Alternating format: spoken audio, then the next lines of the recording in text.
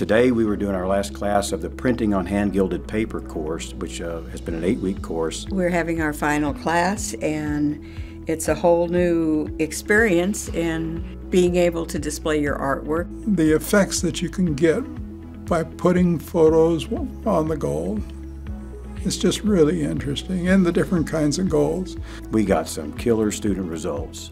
We get our paper, and then at that point, uh, we would use an acrylic paint. And then you put a size on it, and that's very similar to mucilage. At that point, we add uh, gold leaf.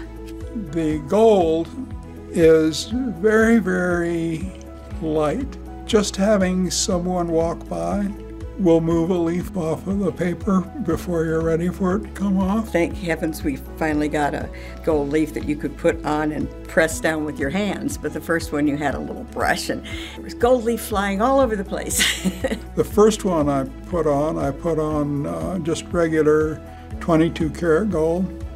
And today we're doing uh, 22 karat moon gold, which has got a slightly different hue then we used an inkjet receptive coating over the gold, and then we printed it on a Canon PROGRAF Pro 1000 printer. I've been involved in photography for years, but I've never done anything like this. Traditionally, I started this out thinking black and white would be the way to go. But one of my students, Kathy Grosshart, printed this color flowers, and it was just stunning. I couldn't believe how beautiful the gold looked. The class was completely free. Barrie got a grant from the Wyoming Arts Council. It's always great to have new thinking because you grow, and, and, and all the people that are in my class feel the same way.